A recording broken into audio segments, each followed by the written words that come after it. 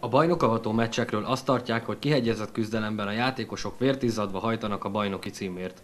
A Bonyhád VLC ezt már a megyei első osztály utolsó előtti fordulójában megtette, így már bajnokként várhatta a völtség legnagyobb derbiét, a Majos elleni mérkőzést. Mindkét fél támadó szellemiségben kezdte a mérkőzést, és az első félidőben egy-egy gól született.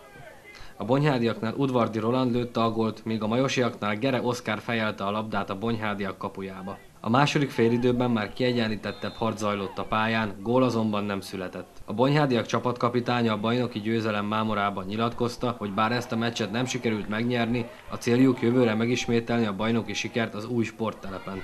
Megnyertük a bajnokságot, ennél többet nagyon nem kell mondani erről az idényről. Kicsit szomorú vagyok, hogy a, ezt a mai meccset nem tudtuk megnyerni, mert ez, ez, a, ez, a, rangadó ez mindig olyan, hogy, hogy, hogy szomorúak vagyunk, hogyha nem nyerünk, de egyébként boldogak vagyunk, örülünk, hogy megnyertük a bajnokságot, aztán megyünk tovább.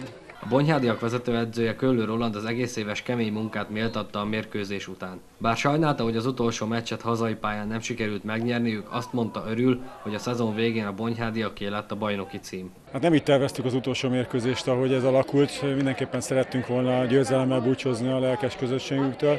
Hát sajnos ma, ma nem sikerült, nem is játszottunk jól. Igazából én azt gondolom, hogy már nagyon vártuk a végét. Ilyen, ilyeténképpen szerencsénk is van, hogy a múlt héten eldőlt a bajnokság, de reménykedem abban, hogyha múlt héten nem dőlt volna el, akkor itt azért tudtunk volna nyerni. Ez már nem derül ki.